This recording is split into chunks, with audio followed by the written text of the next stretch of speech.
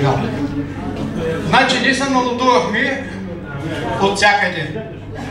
Създадени сме, знаете там по какво и се закриваха, се откриваха, продаваха на, купуваха на, преобразуваха на или не на преобразуваха, в крайна сметка сме си същите. Не са вписваме в никакви закони там търговски и така нататък. Обаче сме си навсякъде не знаят тук, поне в града, космонавтите.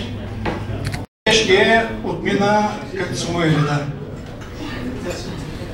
Идва времето на помадряването. Да ви кажа, с пълна сила се усеща при нас. Идват хора един след друг, за да се търсят опецата. А има ли по-мъдри хора от тия, които са на тая възраст?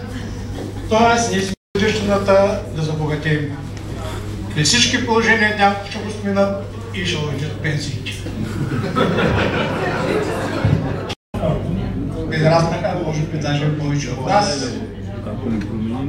Станаха доценти, професори, заместник ректори, ректори на Техническия университет.